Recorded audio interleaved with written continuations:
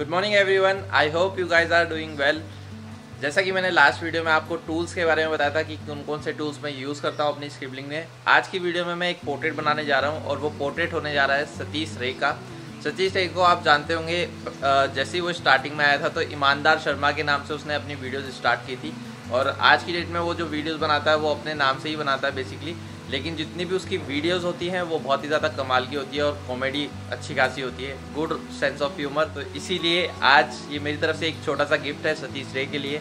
तो आज की वीडियो में मैं सतीश रे का पोर्ट्रेट बनाने वाला हूँ और वो बनाऊँगा मैं स्क्रबल्स के साथ और स्क्रबल में मैं यूज़ करने वाला हूँ आज ब्लैक पेस्टल शीट का और अपने brush pen and white pens का। और वाइट पेंसिल ऑब्वियस है ताकि शेड्स अच्छे से मैं डाल पाऊँ। लेकिन अभी जो टाइम है, वो 11 बज रहे हैं तो मेरी क्लास का टाइम हो रहा है। जैसे ही क्लास ओवर होती है आफ्टर क्लास में वीडियो को स्टार्ट करूँगा और फिर देखते हैं कि कैसा इंप्रेशन आता है। फाइनली गाइज़ मेरी क्लास हो चुकी है कंप्लीट और अब बनाने जा रहे हैं पोर्ट्रेट लेकिन पोर्ट्रेट बनाने से पहले थोड़ा सा प्लान में थोड़े चेंजेस हैं कि एक तो मेरे पास ब्लैक पेस्टल शीट नहीं है, वो मैंने अभी चेक करी तो नहीं है मेरे पास। तो मैं अब इसको डिजिटल वे में बनाने की सोच रहा हूँ। और जो मैंने रेफरेंस चूज़ किया है, वो ये वाला रेफरेंस है। इस वाली फ़ोटो को हम कन्वर्ट करेंगे डिजिटल स्क्रिबलिंग में। और डिजिटल स्क्रिबलिंग में काम करने के लिए मैं यूज़ करने जा रहा हूँ अडोब फोटोशॉप का। सी एस सिक्स मेरे पास वर्जन है। उसी का मैं यूज़ करूँगा। और जो पेन टैब मैंने आपको प्रीवियसली अपनी वीडियोज़ में दिखाई थी, उसी पेन टैब का यूज़ करेंगे। तो करते हैं इस वीडियो को आगे स्टार्ट और देखते हैं लास्ट इंप्रेशन जैसे कि मैंने रेफरेंस इमेज को लिया है और इस रेफरेंस इमेज पे अभी मैं कर रहा हूँ ट्रेसिंग और ट्रेसिंग के लिए मैं यूज़ कर रहा हूँ लाइनर ब्रश का।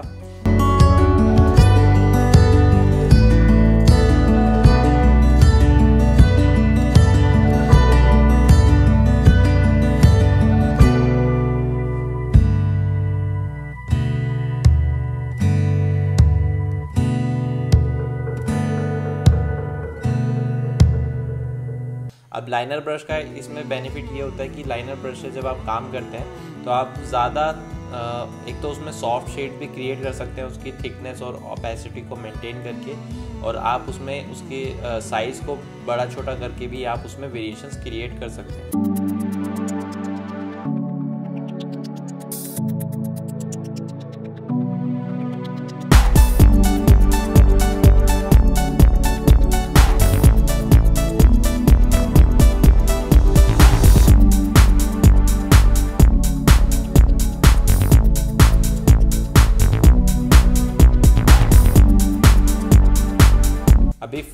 जितनी भी मैं इसमें शेड डाल रहा हूँ, चाहे वो बेस शेड है या फिर हाईलाइट्स हैं ड्राइंग थी टोटल वो सारी की सारी मैं अभी सिंगल ब्रश से कर रहा हूँ और लाइनर ब्रश का ही यूज़ कर रहा हूँ।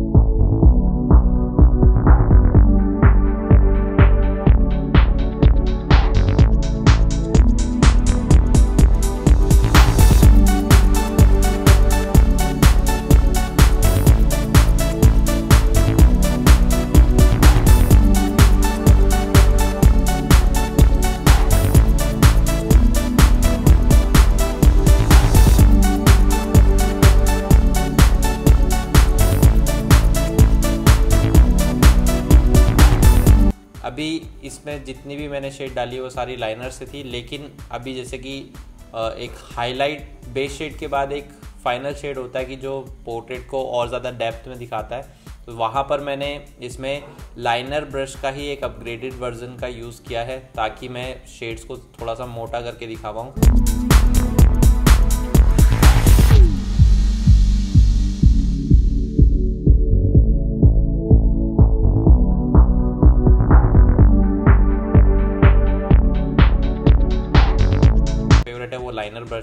अभी भी जो मैं स्मोक का टेक्सचर बना रहा हूँ, ये भी मैं लाइनर ब्रश से बना रहा हूँ।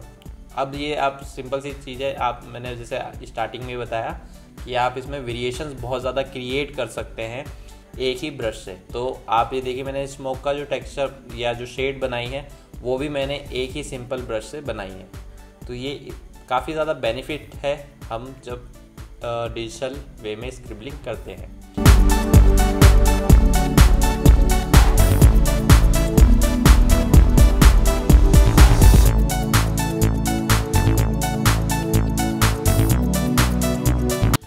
गाइस आर्टवर्क हो चुका है कंप्लीट एंड आई होप कि आपको पूरी वीडियो पसंद आई होगी। आर्टवर्क पसंद आया होगा। एंड आई होप कि सतीश रे को भी ये आर्टवर्क पसंद आए। और डिजिटल वे में मैंने इसको बनाया है। मैंने आपको साथ के साथ बता भी दिया कि हम कौन से ब्रश का और किन किन टूल्स का मैंने इसमें यूज़ किया है। बेसिकली डिजिटल में जब भी हम काम करते हैं तो हमें ज़्यादा ब्रशेस के यूज़ करने की ज़रूरत नहीं होती है।